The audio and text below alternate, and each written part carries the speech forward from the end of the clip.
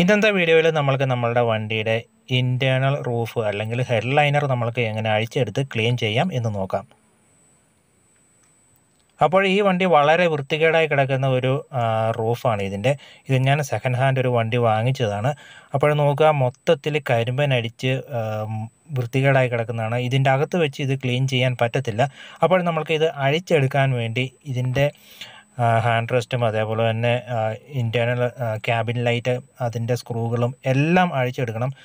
ഫ്രണ്ടിലുള്ള സൺവൈസറും എല്ലാ സ്ക്രൂകളും നിങ്ങൾ അഴിച്ചെടുക്കണം. അതേപോലെ തന്നെ ഈ ലോക്കും നിങ്ങൾ അഴിച്ചെടുക്കണം. അപ്പോൾ ഹാൻഡ് റെസ്റ്റിന്റെ ഈ ലോക്ക് സിസ്റ്റമാണ് ഇതൊക്കെ ജസ്റ്റ് ഒന്ന് ലോക്ക് എടുത്താൽ മതി. ഉള്ളിലുള്ള സ്ക്രൂ നമ്മൾക്ക് അഴിച്ചെടുക്കാൻ പറ്റും. അതേപോലെ തന്നെ ക്യാബിൻ ലൈറ്റൊക്കെ ആണെങ്കിൽ നമ്മൾക്ക് തന്നെ സിമ്പിളായിട്ട് നമ്മൾക്ക് അഴിച്ചെടുക്കാൻ പറ്റുന്ന രീതിയിലാണ് ഉള്ളത്.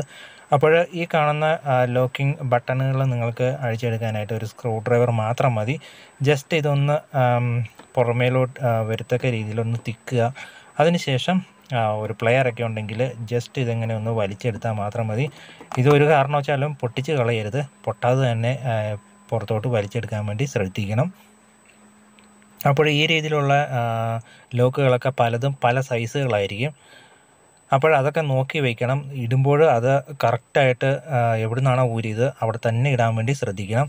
ഇനി നമ്മൾക്ക് ജസ്റ്റ് ഈ റബ്ബർ ബീഡി ബീഡിങ് ഒക്കെ എടുക്കുകയാണെങ്കിൽ നമ്മൾക്ക് റൂഫ് ഊരിയെടുക്കാൻ പറ്റും. ഇപ്പോൾ ഓരോ പ്ലാസ്റ്റിക് സ്പേസറൊക്കെ നമ്മൾക്ക് കിട്ടും. അതൊക്കെ കൃത്യമായിട്ട് എവിടെ നിന്നാണ് നമ്മൾ ഊരിയതെന്ന് കൃത്യമായിട്ട് തന്നെ ഓർത്ത് വയ്ക്കണം അല്ലെങ്കിൽ പിന്നീട് പിന്നീട് ഫിറ്റ് ചെയ്യുമ്പോൾ നമുക്ക് ബുദ്ധിമുട്ടാവും. അപ്പോൾ ഇതിന്റെ ഒരു രൂപം നോക്കുക. മൊത്തത്തിൽ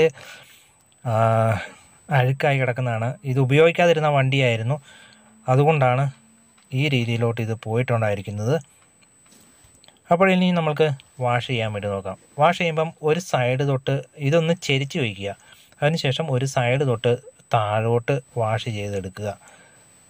അപ്പോൾ ഇതിന് ഈ രീതിയിലുള്ള അഴുക്കായിട്ടുണ്ട്. അത് കരിമ്പിൻ കൂത്തിയിട്ടുണ്ട്. അല്ലാതെ വേറൊരു പ്രശ്നവുമില്ല. ഇത് ഡെന്റായി വന്നിട്ടൊന്നുമില്ല. ആ രീതിയിലുള്ള തൂങ്ങി വന്നിട്ടുള്ള ഇന്റീരിയർ ഒക്കെ ആണെങ്കിൽ അത് റിപ്പയർ ചെയ്തെടുക്കാൻ വളരെ ബുദ്ധിമുട്ടാണ്. അത് റിപ്പയർ ചെയ്യാൻ വേണ്ടി കടകളിൽ കിട്ടുന്ന കമ്പി വലകളുണ്ട്. പ്ലാസ്റ്റിക് കോട്ടിംഗ് ഉള്ള കമ്പി വലകൾ പുറകിലൊന്ന് നല്ല എസ് ആർ ഗം ഉപയോഗിച്ച് ഒട്ടിച്ചാൽ ഒരു പരിധി വരെ നമുക്ക് റിപ്പയർ ചെയ്തെടുക്കാൻ പറ്റും. അല്ലെങ്കിൽ ഇത് റീപ്ലേസ് ചെയ്യുക മാത്രമേ രക്ഷയുള്ളൂ. ഇതിനിപ്പം വേറെ ഡാമേജ് ഒന്നും ഇല്ലാത്ത കാരണം നമുക്ക് ക്ലീൻ ചെയ്തെടുക്കാം. ഞാൻ പകുതിയോളം ക്ലീൻ ചെയ്യൂ.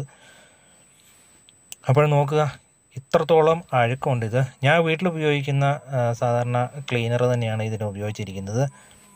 അപ്പോൾ രണ്ട് മൂന്ന് പ്രാവശ്യം ഞാൻ നല്ല രീതിയിൽ കഴുകി ഒരുപാട് സമയം കഴുകിയതിന് ശേഷമാണ് ഈ രീതിയിലോട്ടൊന്ന് കിട്ടിയത്.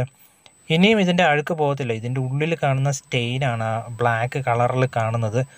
അത് മാത്രമേ ഒരു പ്രശ്നമായിട്ട് വരുന്നുള്ളൂ. ഇനിയും ഉണ്ട് അതിലൊരു കറുപ്പ് കളറ് അത് എത്ര കഴുകിയിട്ടും പോകുന്നില്ല.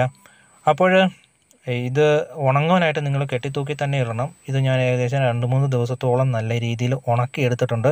ഉണങ്ങി വന്നപ്പോഴേക്കും സൈഡിൽ ഇനിയുണ്ട് ചെറിയ കറുപ്പ് ഭാഗങ്ങൾ. അപ്പോൾ ഇത് ഒരുപാട് അഴുക്കുള്ള കാരണമാണ് ഇങ്ങനെ പ്രശ്നം പറ്റിയത്. സാധാരണ രീതിയിൽ ചെറിയ അഴുക്കൊക്കെ ആണെങ്കിലും നമുക്ക് നല്ല രീതിയിൽ ക്ലീൻ ചെയ്തെടുക്കാൻ പറ്റും. ഈ കറുപ്പ് കളർ കളയാൻ വേണ്ടി ഇനി നമ്മൾക്ക് ഇതിന്റെ പുറത്തോട്ട് പെയിന്റ് അടിക്കാം. അപ്പോൾ നിങ്ങൾക്ക് ഇഷ്ടമുള്ള പെയിന്റ് അടിക്കാം. നൂറ്റി അൻപത് രൂപയ്ക്ക് നമ്മൾക്ക് ഈ രീതിയിലുള്ള സ്പ്രേ ബോട്ടിലുകൾ നമുക്ക് കടകളിൽ അവൈലബിൾ ആണ്. നിങ്ങൾക്ക് ഇഷ്ടമുള്ള കളർ വാങ്ങി അടിക്കാവുന്നതാണ്.